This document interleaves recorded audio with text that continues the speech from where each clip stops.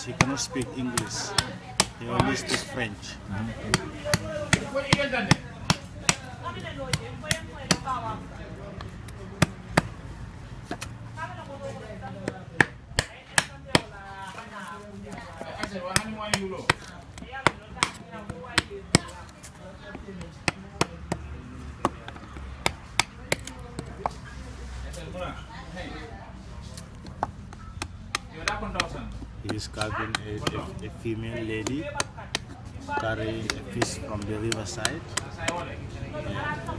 And, and the, the wood is called teak wood. It is a special wood, very pretty and nice.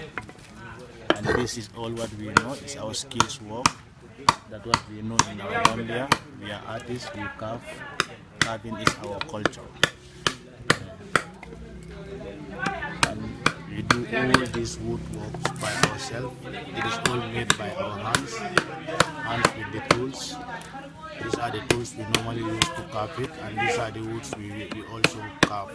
Teak wood, and we have other woods also called uh, mahogany, ebony wood, and white wood. You know white wood? Malina. You know Malina? Yeah. This one is teak wood. We made it from a lady, the one with the fish and the other one with the banana on the head. You can see it. This one is carrying a jar.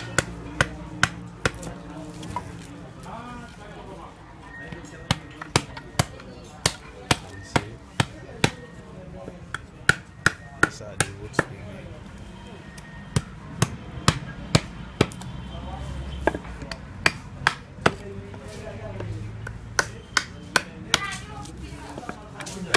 This is the starting.